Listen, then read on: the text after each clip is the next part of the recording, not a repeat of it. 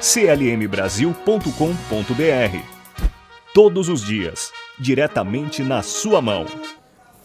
CLM News informa: profecia de Rabino se cumpre sobre Benjamin Netanyahu, sendo o último presidente da história de Israel.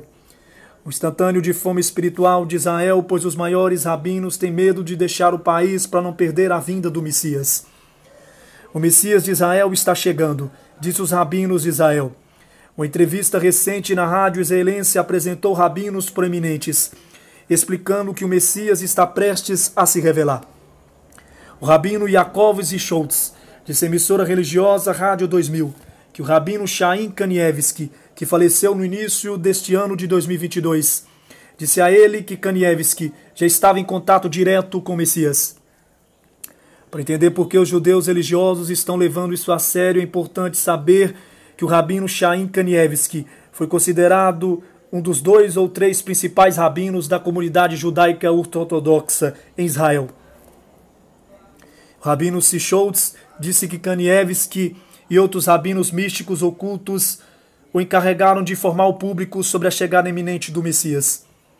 O rabino Sischoltz começou sua explosiva entrevista de três horas como um aviso.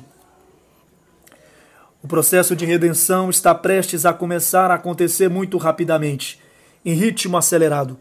É importante que as pessoas permaneçam calmas e firmes para agir corretamente no momento certo.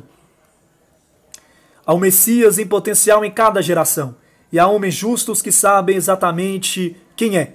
Isto é naturalmente verdade nesta geração.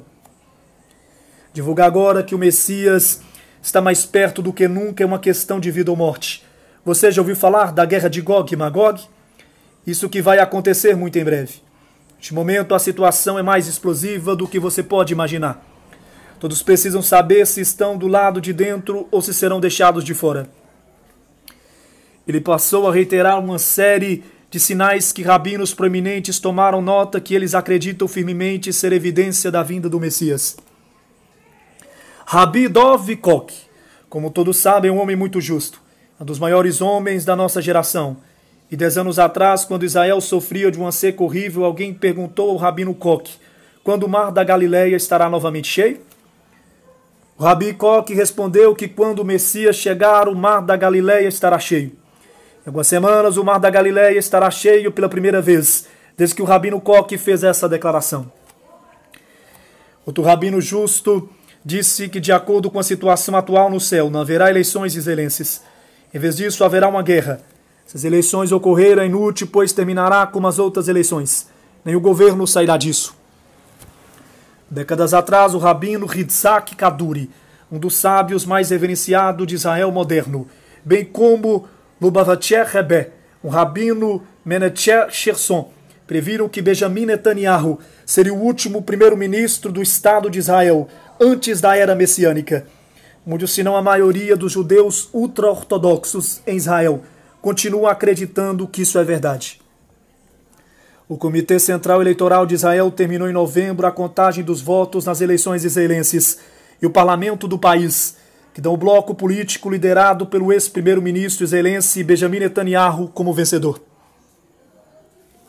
O parlamento de Israel, no dia 29 de dezembro, aprovou o governo de Benjamin Netanyahu, que governa Israel pela terceira vez, cumprindo a profecia.